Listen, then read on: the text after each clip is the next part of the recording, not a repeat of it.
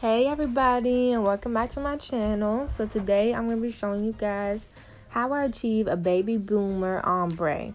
And we're going to get right into the video. So first off, as I always do, I always like to go in with my Crystal Clear from Valentino. And I like to do a real thin base on the natural nail. And this is just to cover the natural nail to protect it from any pigments from the colored acrylic and also to just give a stronger base to the acrylic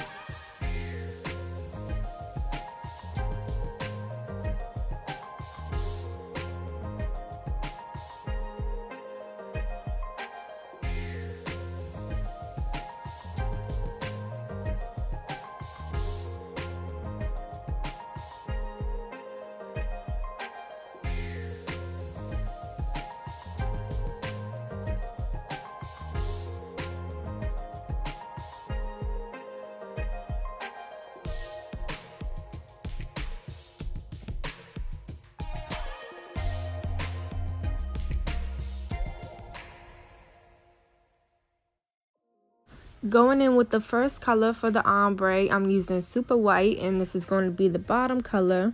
And so I start with at the bottom and I like to brush the color upwards, which you'll see me do right here. And some people, some nail techs actually like to do like a harsh line in the middle of the nail and just bring the color downwards.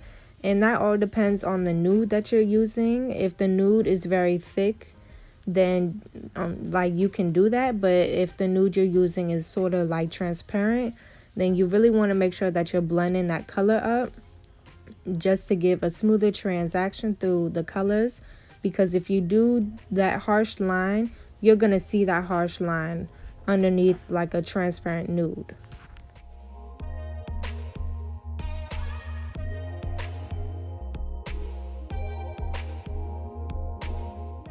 And as you can see, as I brush the white upwards, it's a ombre itself, you know, like it's a very thick white at the bottom and then it gets very transparent towards the top. And that's what you want. You don't want it to be a very thick white all throughout because that won't let the trans the transaction of the colors be good, you know?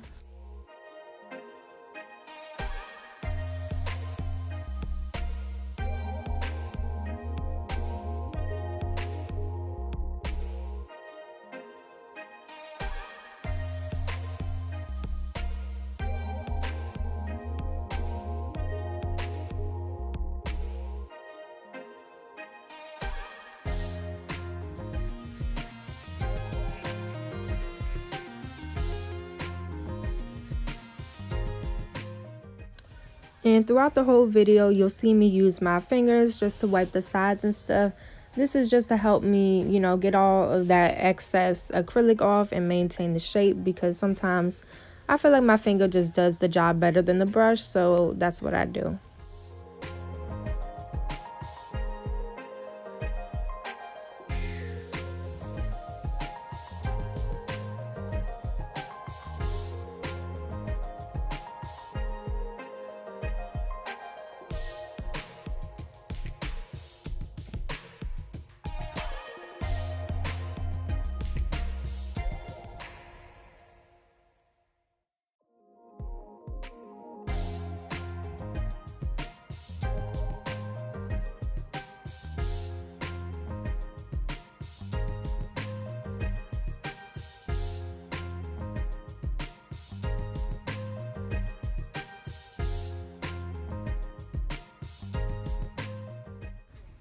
Super white color from Valentino is actually known as a cover powder, meaning it is thick enough to be on its own without a um, clear on top.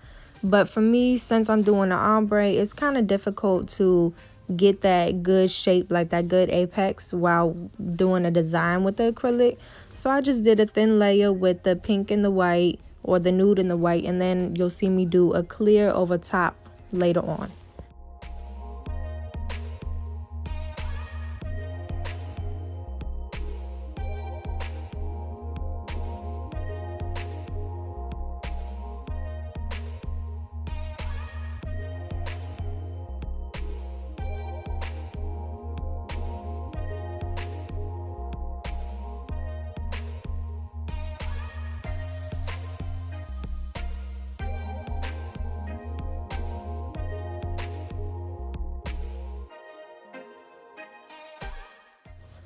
For the second color, I'm using Perfect Nude from Valentino.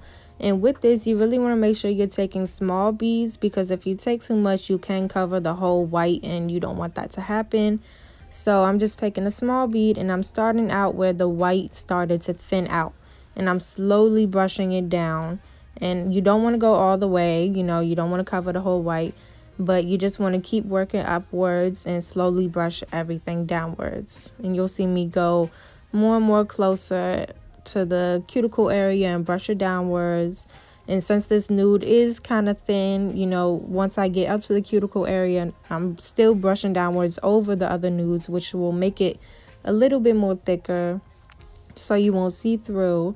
And you'll see me kind of brush back and forth just to kind of mix the colors together to get a more tra better transaction. And throughout this process, you'll also see me sometimes add more white.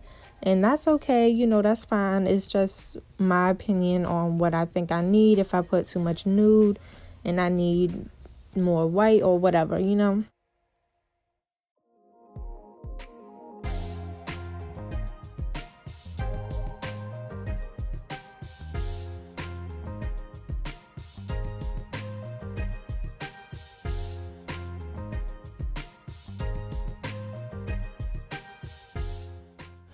I mentioned in another video where I was doing designs that you really don't want to think too hard on the design because then you'll start thinking like this needs to be perfect, this needs to be perfect, and nothing is ever going to be perfect. You know, there's always going to be something wrong with it if you're thinking too hard. So you really just want to mellow out and you'll find everything will come out just fine.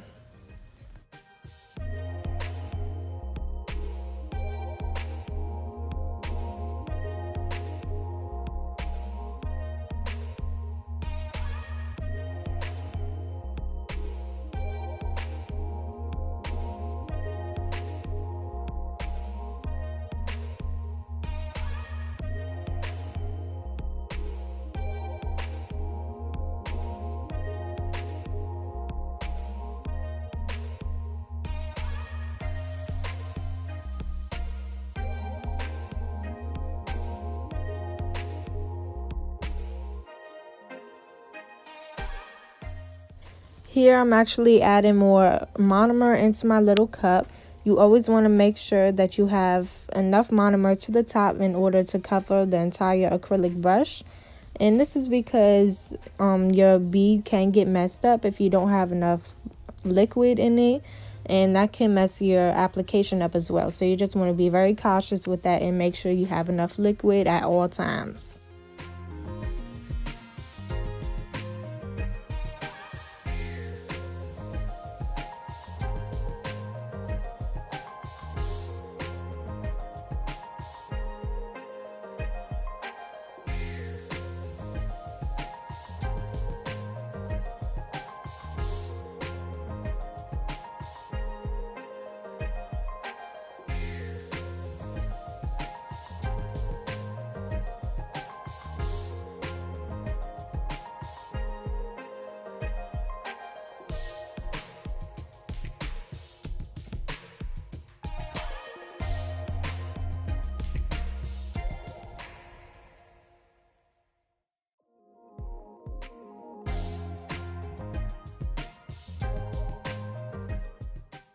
I slowed down me doing this thumb to real life time so you actually you can actually see what I'm doing and how fast I'm doing everything.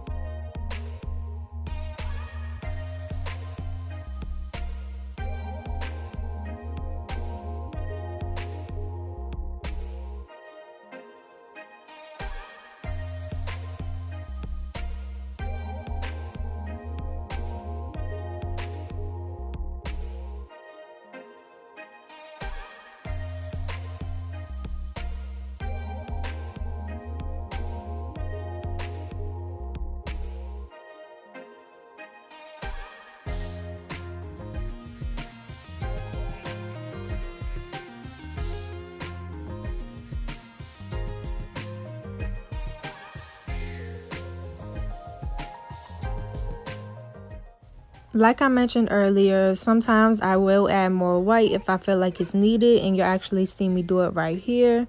And I just add it to the very tip and slightly brush it upwards just to blend it in with the nude.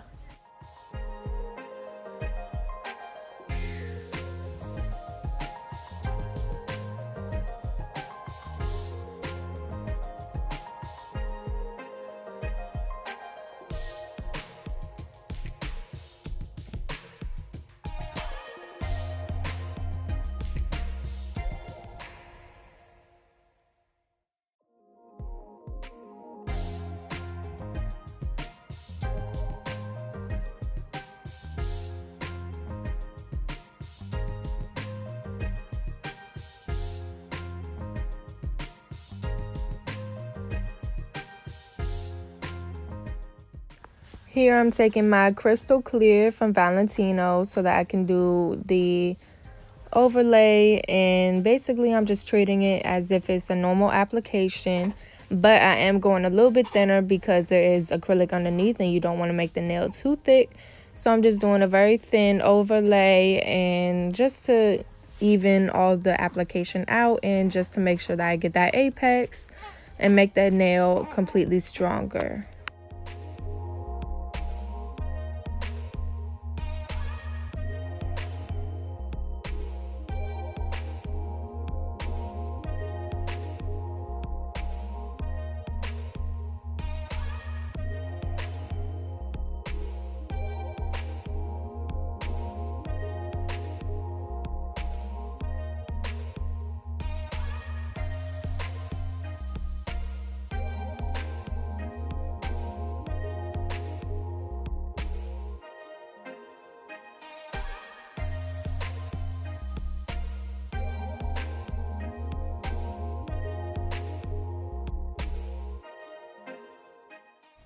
And of course, for your application, you always want to start at the tip and you take, if you're a beginner, you want to take small beads and just slowly work your way up. And you know, always bring it down towards the bottom. And you do want to keep the finger at a tilted angle. As you see me doing, I'm tilting the nail downwards. This is just to help the flow of the acrylic bring it downwards, you know, gravity, of course. And here you actually see me cleaning my brush with a orange wood stick. This is kind of just to get any old acrylic out throughout the process, you know, any acrylic that got stuck in there because that can also affect the bead in your application as well. So I just make sure that my brush is always clean. Going back to application, you did see me just kind of wipe the acrylic upwards and that is because I don't like to leave harsh lines because that can result in bumps in the application. I like to maintain, try to maintain it being real smooth.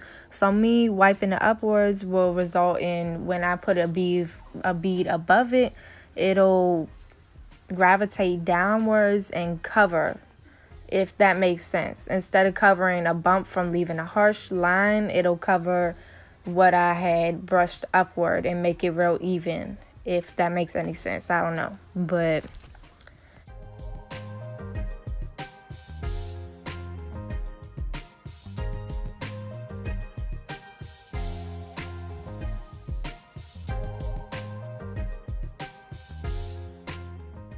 Also, once you get to the cuticle area, you don't want to put the bead directly right at the cuticle. You want to put it a little bit downwards and slowly push the acrylic up towards the cuticle so it's not so thick right at the cuticle area.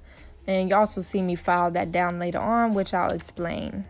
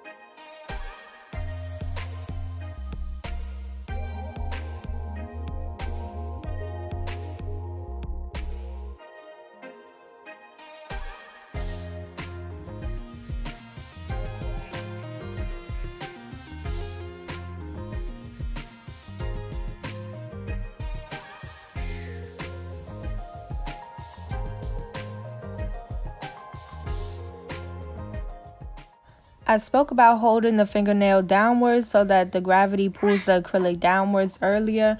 And that is just, you know, you kind of want to let the acrylic work itself. You don't always want to force the acrylic to go where it's supposed to. You know, here I'm adding more monomer as you can see. But anyways, you just want to make sure that you're not forcing anything because that can mess up the application as well. You know, the gravity will pull the acrylic where it's supposed to go and that'll allow a smooth application.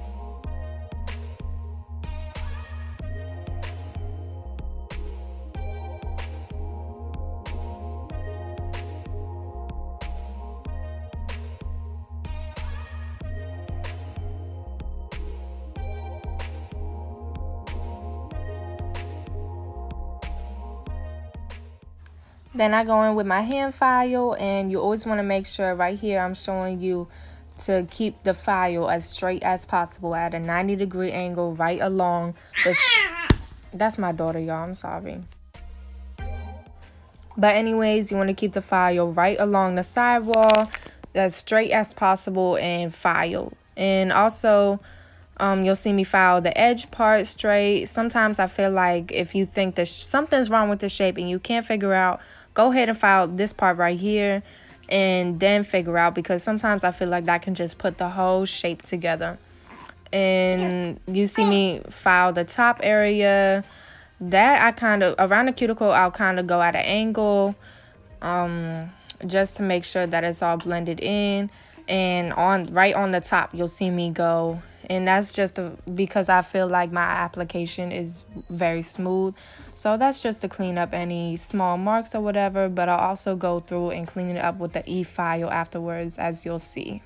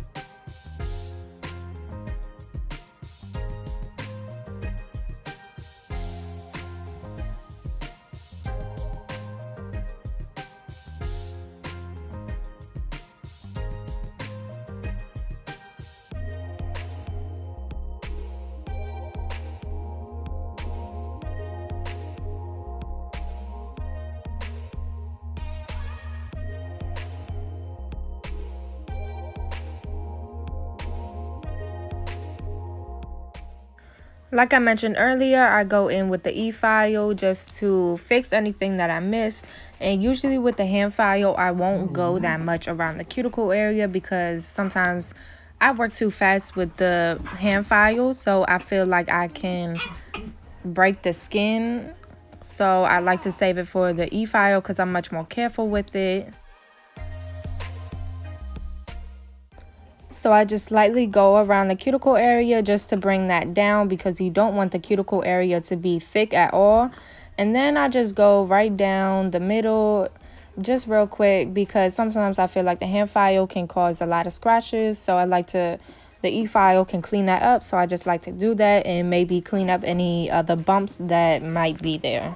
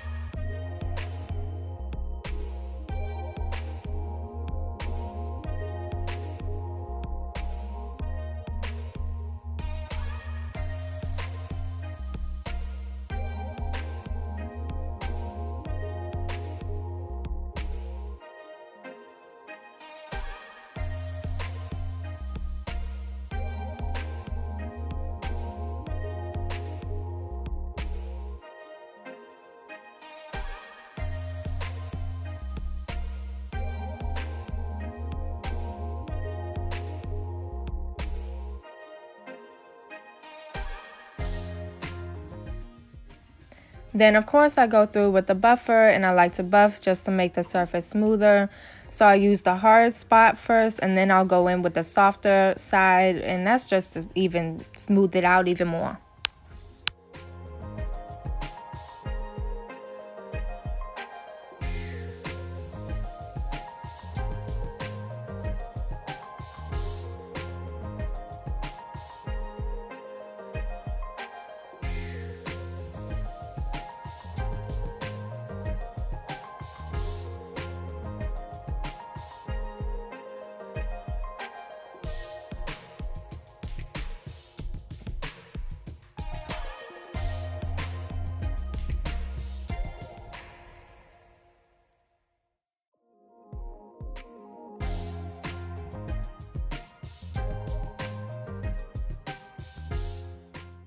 Once I'm done buffing, the client will then go wash her hands and then we'll get into the top coat. Because I like to use gel top coats, I go in with my base coat first, which I use the regular polish OPI base coat. And this is just because sometimes I feel like the gel top coat, my daughter, the gel top coat can peel off the regular acrylic if you don't have anything underneath. So I like to just make sure there's a base between the two. I go in with my gel top coat from Valentino and it's a non-wipe gel top coat so I don't have to wipe anything after and I basically just go through and apply it and then I cure for 60 seconds in my LED lamp.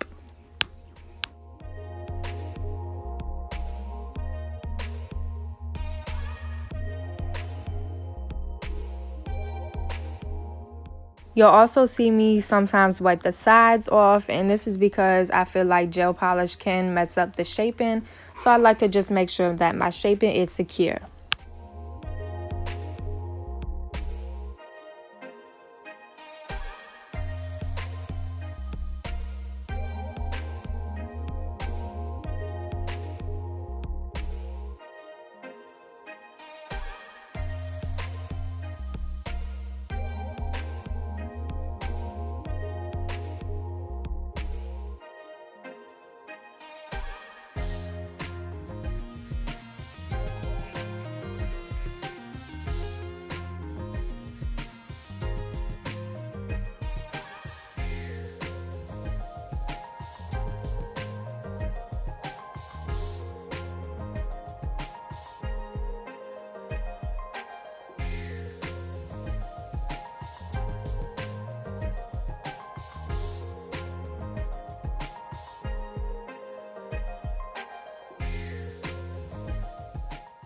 Of course, I gotta go in through it with my cuticle oil and I apply that all over and rub it into the cuticles.